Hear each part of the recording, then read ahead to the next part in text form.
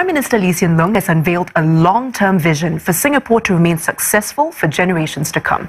It spans the fundamentals such as preschool education and ensuring that no one is denied access to education at any level, to the issue of allowing aging workers to continue contributing to the economy and building their retirement savings.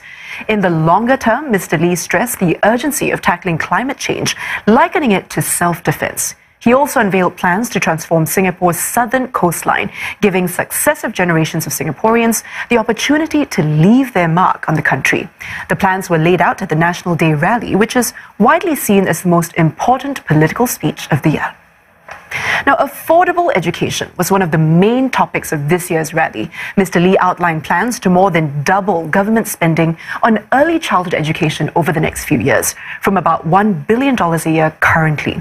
Mr. Lee said giving children a good start is a cornerstone of meritocracy, and that good, affordable preschool is as important as housing and healthcare.